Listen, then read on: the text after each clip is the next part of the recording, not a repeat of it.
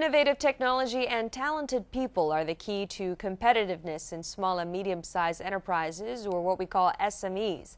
The 13th InnoTech event took place to change the common perception on SMEs and provide people opportunities to experience cutting edge technologies. Amy Park tells us the details.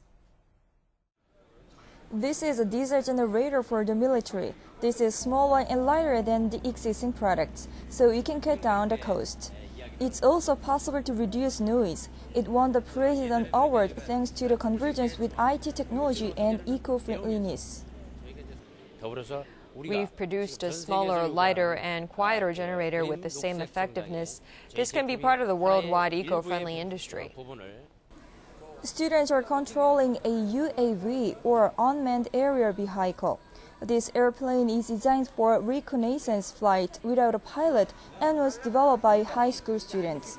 It shows how specialized high school students are developing their innovative ideas.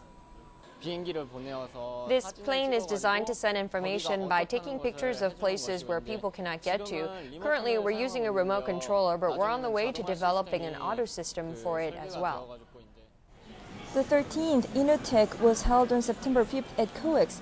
At this exhibition, many great products from SMEs and specialized high schools were displayed.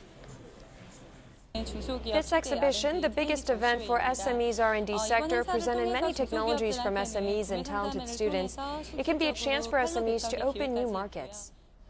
Under the theme of innovative technologies to change the world, talented people to open the better future, this event was the opportunity to broaden the range of perception on SMEs and make the society to support technical workforce.